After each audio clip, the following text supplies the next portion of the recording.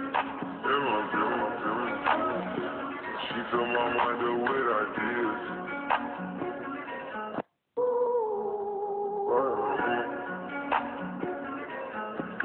In feeling, feeling feelings.